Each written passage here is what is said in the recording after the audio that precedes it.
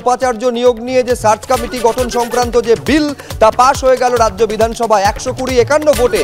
পাশ হলো এই বিল। বারোই মে অর্ডিন্যান্স জারি হয়। এই অর্ডিন্যান্সকে আইনে পরিণত করতে বিল আনা হয়। যে বিল একশো কুড়ি একান্ন ভোটে আজকে পাশ হয়ে গেল। আশাবুল হোসেন আমাদের প্রতিনিধি। আরও বিস্তারিত বলবেন এই নিয়ে। আশাবুল? দেখো সুপ্রজিৎ আজকে the West Bengal university laws amendment bill twenty three এই বিলটি আজকে বিধানসভায় পেশ করা হয়।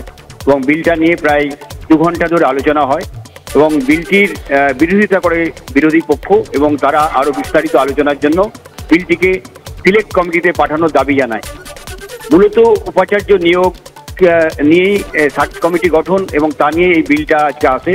গত বারোই মে রাজ্য সরকারের তরফে সার্চ কমিটি গঠন নিয়ে একটি অর্ডিন্যান্স জারি করা হয় এবং সেই অর্ডিন্যান্সকে আইনে পরিণত করতেই আজকে বিলটা আনা হয়। এবং যেহেতু বিরোধীদের দাবি মানা হয়নি আজকে তাই বিরোধীরা তারা ডিভিশন চান এবং সেই জন্য ভোটাভুটি হয় এবং অবশেষে ভোটাভুটিতে বিলের পক্ষে একশো কুড়িটি ভোট পড়ে এবং বিলের বিপক্ষে একান্নটি ভোট পড়ে। ফলে খুব সহজেই এই বিলটি পাস হয়ে যায়।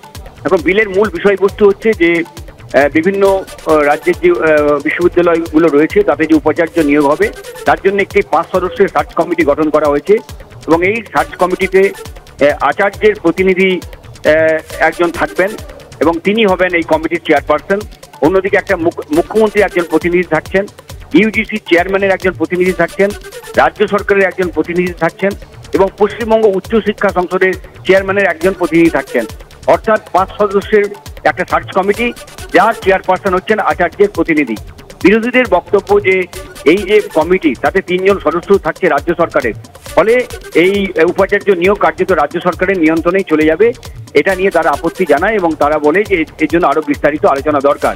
কিন্তু শাসক সরকার পক্ষের তরফে বলা হয়, একেবারে ইউজিসির গাইডলাইন মেনে সুপ্রিম কোর্টের নির্দেশ মতোই এই সার্চ কমিটি গঠন করা হয়েছে রাজ্যপালের সঙ্গে আলোচনা করা হয়েছে বিষয়টা নিয়ে এবং রাজ্যপালের অনুমোদন কমেই এই বিলটা আনা হচ্ছে এবং উপাচার্য নিয়োগে পরিচ্ছন্নতা বজায় রেখে সবার সঙ্গে আলোচনা করে কমিটির যারা সদস্য আছেন, তাদের মতামতের ভিত্তিতেই নিয়োগ করা হবে।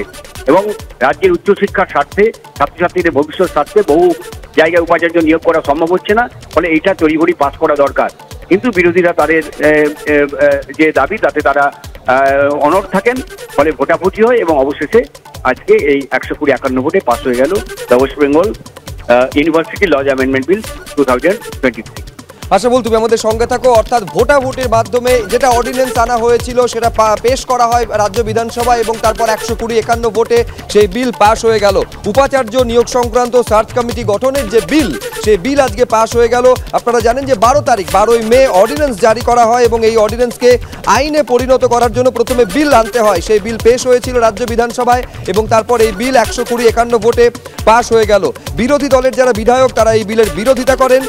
আহ, আরও আলোচনার জন্য বিলকে সিলেক্ট কমিটিতে পাঠানোর দাবি জানায় বিরোধীরা। দাবি মানেনি সরকার পক্ষ ফলে ভোটাভুটি হয় এবং সেই ভোটাভুটিতে পাশ হয়ে গেল এই বিল।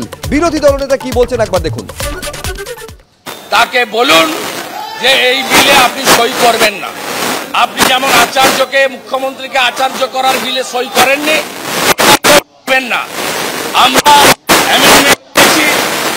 কমিটিতে পাঠানোর কথা বলেছি পাবলিক ওপিনিয়ন সংখ্যাগরিষ্ঠতার জোরে, গায়ের জোরে এরা এই বিল পাস করিয়েছে।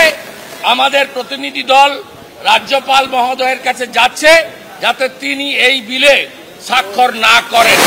বিশ্ববিদ্যালয়কে তৃণমূলের পার্টি অফিস পরিণত করতে ভারতীয় জনতা পার্টি দেবে না।